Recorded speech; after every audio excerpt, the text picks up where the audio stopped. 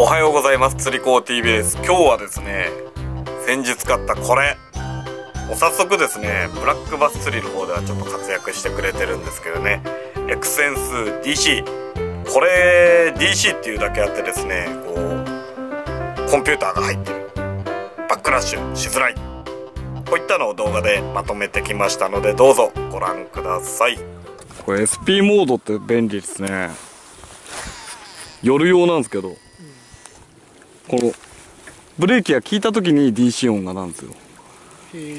あの夜とか目見えない時に最後ウィーンって言い出したら軽くサーミングすればバックラしないよっていう SP モードってのが。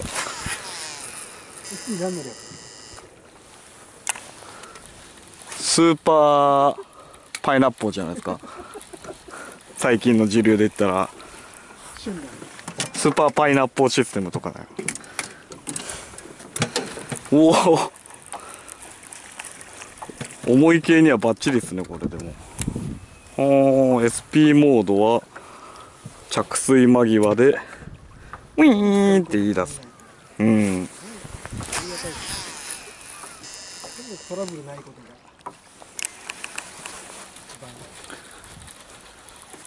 夜に細ピー使うために作られてるリールですからね。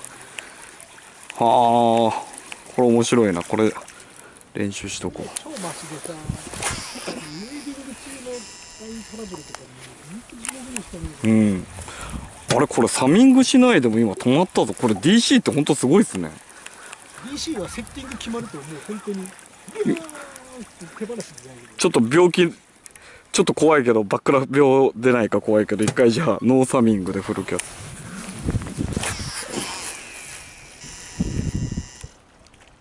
うおすげえ。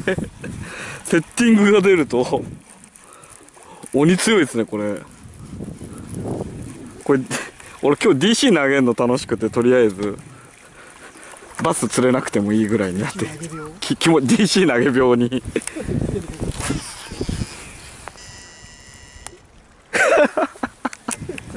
たまんね。これ夜使ってみたいですね早く。C バスで。うん。そうですね。昨日帰ってきたら届いてたんで。DC 初。ですね。SP モードたまんねえっす。ビッグベイトモード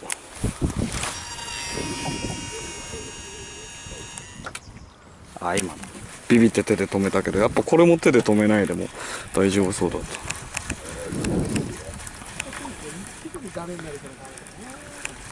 だから縫い差し推奨なんですね。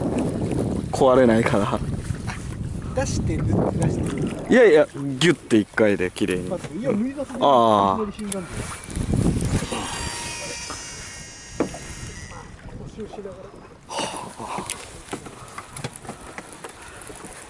ビッグベイトモードも具合いいなこれ。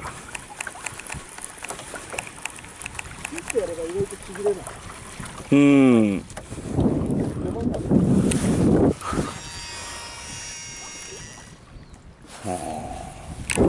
すげえもんだな。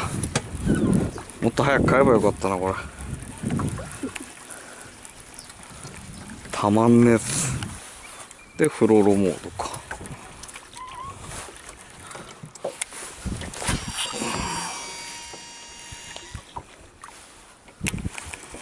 下に投げたあ結構伸びてきたね全然ノーサミングで。着水しても。着水もう一切触んないで。このアシストしてくれるのはすごい。あとはエキサイティングファイトドラグみたいなシステムがあるんで。そのエキサイティング音を聞きたいんですけどまあなんかドラグ音付きなんですよね。追い風だと相当出んじゃん。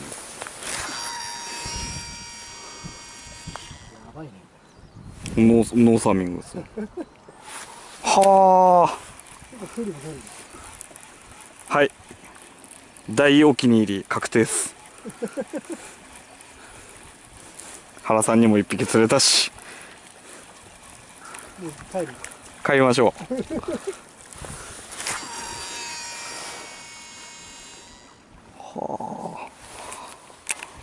すげえ。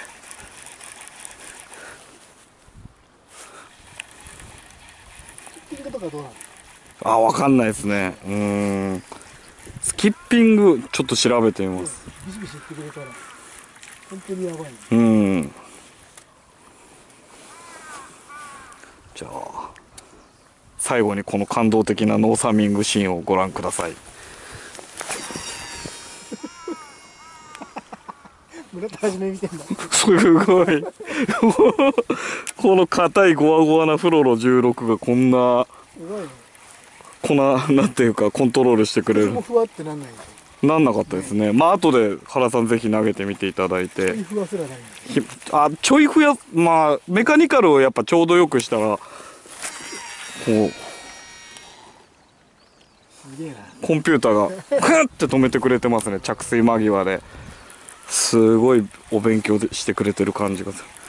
はい。キリがないんで釣り始めます。楽しすぎる。楽しい。はい。というわけでですね試して帰ってきました。シーバスやるときはですねここに P ライン入れようかななんて思ってるんですけどもとりあえずブラックバスに行く予定の方が先だったので、えー今回はですねフロロカーボンの16ポンドこれを入れてですねいろいろと投げてきました。でピーンってもう本当に最初ですね何灯かここの横のメカニカルブレーキを調整するのと一発目の充電するためのキャストの時にふわって糸が浮いたかなっていうのがあったんですけどもその後はですねもうずっと快適にこう投げることができました。これまでですねこの DC っていうのがついているリール1個も持ってなかったんですけどね。非常に快適に釣りができております。で8.0対1結構ハイギアなのでブラックバスでやるときは、まあ、テキサスリグとかのあとラバージグ。そういった内こうッチングで打っていくような釣りに、え使っていこうかななんて計画しておりますが回収もギア比が非常にハイギアなんでスパパパパパーと回収できますねあとは太い針なんかを使ってる時もここのああと2回転巻き入れとけば針先かかったんじゃないかななんていう時も素早い巻き取りでこうたるみがスパーンって取れるんで非常に快適に合わせが入れられたななんていうのがあります。でこのエクセンス DC には SP モードと BB モード F モードあと PE ラインモードが12344段階設定されております。この動画でも言ってましたけどね SP モードは投げて着水の手前ぐらいで DC ブレーキが効き出したよっていう頃に初めてピーンっていう音がコンピューター音が鳴るんですね。でそのタイミングでサミングすれば、えー夜目が見えない中でもこう音を頼りにですねバックラッシュしないでキャスティングできるよっていうのがまず SP モード。で空気抵抗の大きいビッグベイトなんかを投げる時に有効なのがこの BB モードビッグベイトモードですかね、えーこれがついておりまして、えーバックラッシュしにくい。重いの投げても抵抗の何ですかね空気抵抗の大きいルアーとかを投げてもバックラッシュしづらいよ。こんな風に言われております。これからですね東京港そうですね大きなペンシルとかで大きなこの城を狙ってついているシーバスを狙うってそんなパターンも今流行ってますからね。そういった大きなルアーを投げる時はこの BB モードっていうののお世話になるんじゃないかな。あとはフロロカーボンの使用に特化した F モード。こんなのがありますね。で P ラインのモードがマックスからミニまで4段階。この計8段階プラスここのメカニカルブレーキの効かせ具合によっていろいろと投げられますということですね。で軽いのはどんなの投げられるんですか？なんていうのを調べたんですけども、えーあとはですね聞いたりしたんですけども何しろこのスプールの中にコンピューターが入っていますから軽いものを投げるのはそこまで得意ではない。っていう風に言われておりますね。10g ぐらいのはでも快適に投げられたんですけども要は軽いルアーを投げるためにはいかにこのスプールを肉抜きして軽く仕上げるか。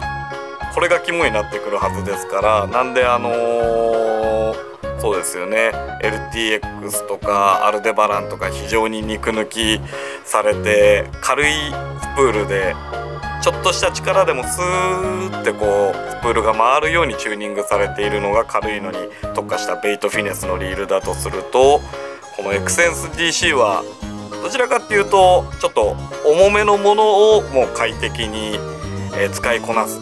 こういった風に作られれているまあ道具なんで多分そうですね。もうこれで最近流行りのベイトフィネスとか軽いのまで快適にやろうとするとちょっと物足りないなっていう感じになっちゃうかもしれないんですけどもそうですね。